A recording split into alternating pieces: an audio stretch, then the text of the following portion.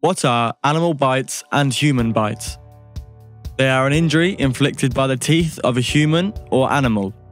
Causes are from being bitten by an animal, mostly dogs or cats, and sometimes humans. What are the symptoms of bites? Punctured, lacerated skin, bleeding, pain, and sometimes tissue damage.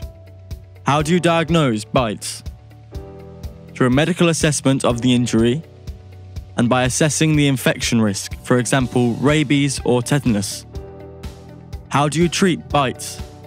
Through wound management, including washing, hospital admission if the wound needs closure, medication like painkillers or antihistamines, and antibiotics to prevent infection for people at serious risk. Why should I worry about bites? As they can lead to severe infection and may need emergency surgical treatment.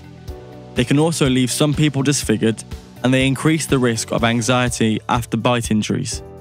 Also, a tetanus or rabies shot may be needed. Thank you for watching. Please click now to subscribe to our YouTube channel for more videos and content.